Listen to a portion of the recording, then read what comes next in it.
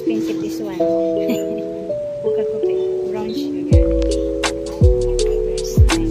First time. First time. Pure coffee.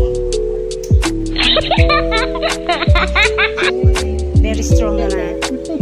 Very better. Just try.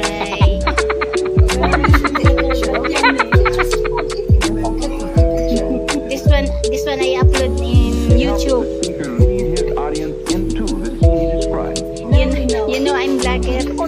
Không.